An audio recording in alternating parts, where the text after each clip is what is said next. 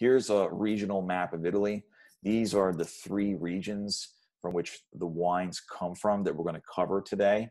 Uh, one red will come from the north of Italy in the Piemonte region, northwest Italy. Uh, then there's going to be a rosé coming out of Abruzzo in south central Italy. And then I've got a white and a red coming out of the Campania region in the south. So let's start with our first uh, wine this evening comes from the Campania region. Now, the Campania region has a very, very long, long history of winemaking. It's actually a fascinating wine region for so many reasons. Culturally speaking, what I find fascinating is that while many regions in Italy sort of jumped on the bandwagon of international grape varieties like Merlot, Cabernet Sauvignon, Cabernet Franc, Pinot Grigio, uh, the Campania region resisted all those international varieties, which are basically French varieties, and they continued to cultivate their own native grape varietals. And there are dozens of native grape varietals in Campania that have their own unique aromas, textures, and flavors that would be a pity uh, to not experience. Uh, also, uh, the region historically was uh, very famous, made famous by the Roman emperors who favored the wines of Campania more than anywhere else, which is fascinating. And what's even more fascinating is that we still have those same varieties available to us today. Um, it's it's amazing what has happened uh, to the wine world. You know, 2,000 years ago, uh, some of the wines uh, were only available to the Roman emperor. Think about that, like the most powerful human being on the planet at the time. And now, regular old people in uh, in the year 2020, as I'm recording this, can can drink these wines. It's it's fascinating. So let's uh, zoom in a little bit on where we're going first. We're going to experience our first and only white wine during the class. We're going to go to the Avellino province uh, in the Campania region. It's about an hour and 45 minutes from the city of Naples inland. And uh, I'll also mention for those wine geeks out there that are watching this, uh, Campania has very, very volcanic soils, which produces, as you know, very, very fascinating wines. And so uh, here's a picture of myself on the right but I'm I'm at the Antico Borgo winery, which is a micro winery uh, in the Campania region. And the gentleman in the middle is Raffaele Inglese. He's the winemaker and owner of, of Antico Borgo, and this is his business partner, uh, Baldo di Sassa.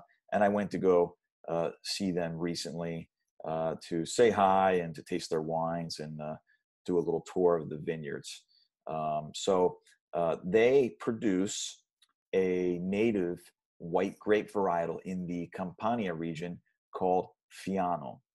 And Fiano is actually grown throughout southern Italy for the most part. It's found in other regions.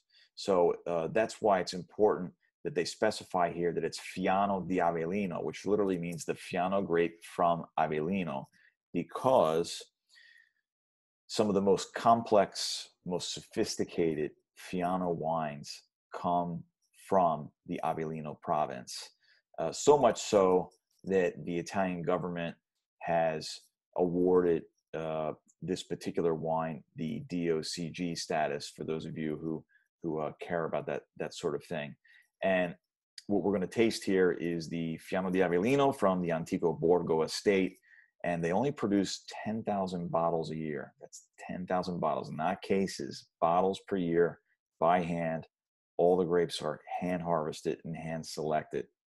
Now, uh, this wine uh, tends to be very, very aromatic, which is what I love about it.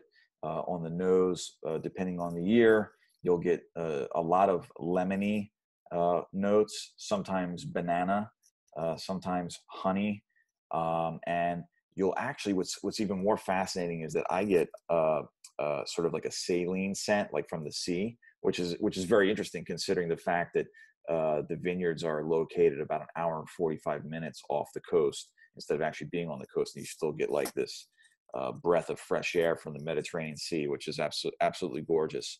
And so I'm calling this medium bodied, but sometimes on the finish, there's this explosion of fullness, and the finish is very, very long and, and persistent.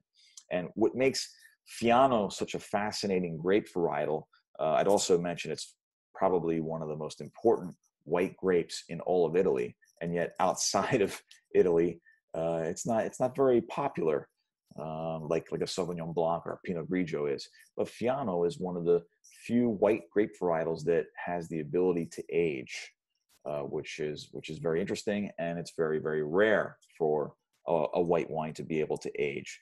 So what I find interesting about this wine is when it's released, uh, which is about a year after the harvest, um, it's very um, very forward with uh, fresh lemon scents and things like that. But um, as it begins to age by year two, year three, um, the wine starts to get more complex and there's more fruits emerging.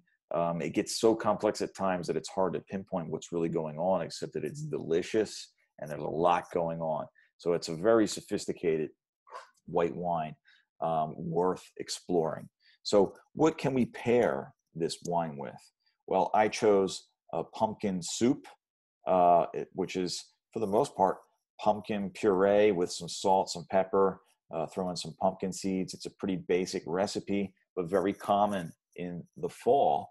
And and so uh, you could also make a soup with squash and potatoes in a, a uh, vegetable broth, and this this wine would do very well uh, as a pairing as well. And this wine is 13% alcohol. So medium plus bodied, uh, 13% alcohol, and then just pairing it with a soup. You know, pick any soup, any fall soup with fall ingredients uh, that does not have red meat in it. This wine will do very well.